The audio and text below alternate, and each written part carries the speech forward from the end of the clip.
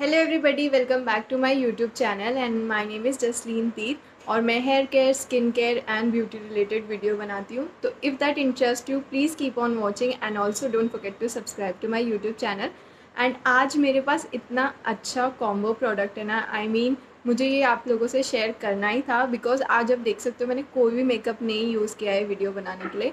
I mean this is my bare skin and आप सब लोग भी घर पे ऐसे ग्लोइंग स्किन पा सकते हो बिना पार्लर जाए।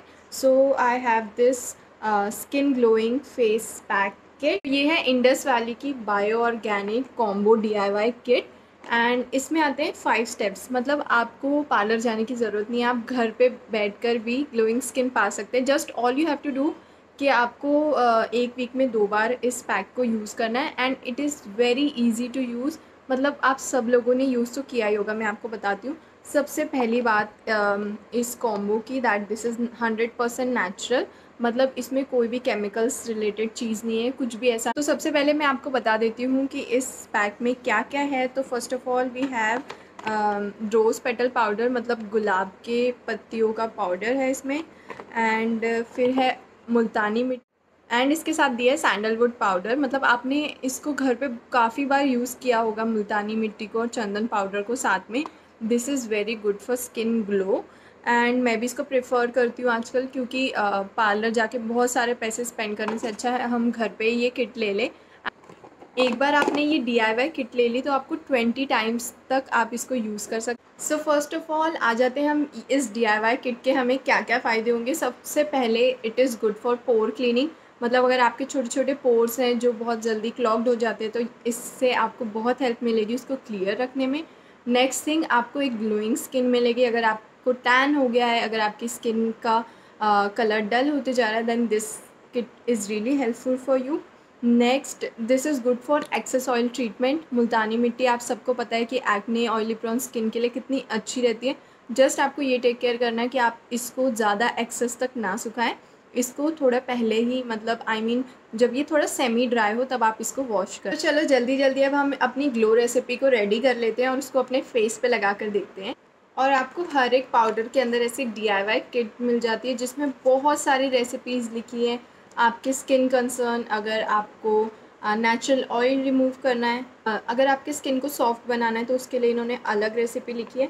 आई I मीन mean, आप आपके हिसाब से जो भी आपका स्किन कंसर्न है आप इस ब्रांड के बहुत सारे प्रोडक्ट्स हैं बहुत सारे ऐसे किट्स हैं जिनको आप यूज़ कर सकते हैं। रोज़ पेटल पाउडर तो ये मैंने इसमें तीनों पाउडर्स डाल दिए। अब नेक्स्ट इसमें मैं डाल रही हूँ रोज़ वाटर फिर हम इसका पेस्ट बना लेंगे। तो मैं इसको लगा लेती हूँ।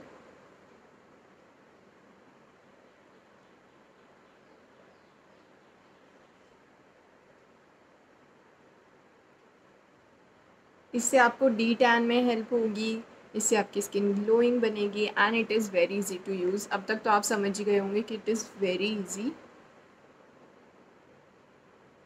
अच्छे से लग गया ये मेरे फेस पे। अब मैं इसको ट्वेंटी मिनट्स तक सूखने दूँगी। अब आपको यहाँ पे ये ध्यान रखना है कि अगर आपकी स्किन एक्ने प्रोन है मतलब आपको पिंपल्स होते हैं तो आपको क्या ध्यान रखना है कि आप इसको टेन टू ट्वेल्व मिनट्स से ज़्यादा नहीं रखेंगे, क्योंकि अगर आपकी स्किन ज़्यादा ड्राई हो जाएगी तो फिर आपको एक्ने होने के चांसेस ज़्यादा है। इसलिए ट्राई करें टेन टू ट्वेल्व मिनट्स में धो लें।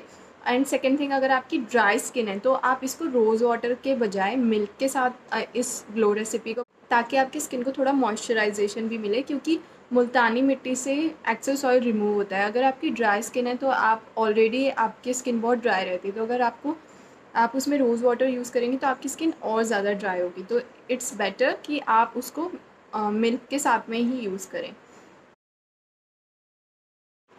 तो अब आप देख सकते हैं मैंने वॉश कर लिया और मेरी स्किन कितनी ज़्यादा ग्लोइंग हो गई है। जस्ट मैं एक टिप आप लोगों को देना चाहूँगी कि अगर आपकी सेंसिटिव स्किन है तो रोज़मेरी एसेंशियल ऑयल यूज़ ना करें क्योंकि वो आपकी स्किन को थोड़ा सा इरीटेटेड कर सकती है। मतलब अगर आपने कभी पहले यूज़ नहीं किए होंगे तो वो आपको थोड़ा सा इरीटेट कर सकती है। अदरवाइज़ आप सब लगा सकते हैं। मुझे मॉइस्चराइज़र की ज़रूरत है तो मॉइस्चराइजिंग के लिए मैं यूज़ करूँगी इंडस वैली का। Hundred percent pure aloe vera gel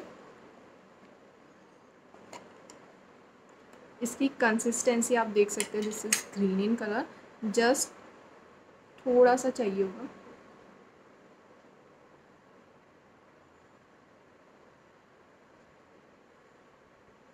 इसको मैं अच्छे से अपने फेस और नेक पे मसाज कर लूँगी तो जैसे कि अब आप देख सकते हैं, मेरी स्किन कितनी ज़्यादा ग्लोइंग और क्लियर हो गई है। तो आपको भी बस यही करना है एक वीक में दो बार इस ग्लो पैक को यूज़ करना है और उसके बाद अपनी स्किन को अच्छे से मॉइस्चराइज करें और हमेशा सनस्क्रीन यूज़ करें। That's it for today's video अगर आपको ये वीडियो अच्छा लगा तो then don't forget to subscribe